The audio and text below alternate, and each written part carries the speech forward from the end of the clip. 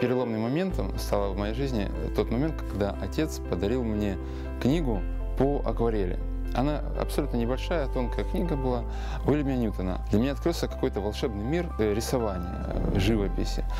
Там настолько это было светло, ярко показано и доступно, что мне почему-то захотелось сразу стать, вот, побыть тем самым художником, который написал эту книгу.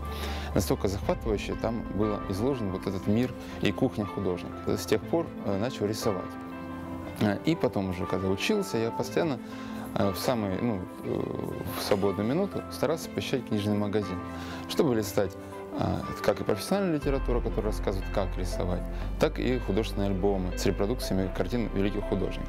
Почему я приходил сюда, а не смотрел в интернете? Здесь можно и потрогать, и прикоснуться к этому, ощутить вот этот запах книги.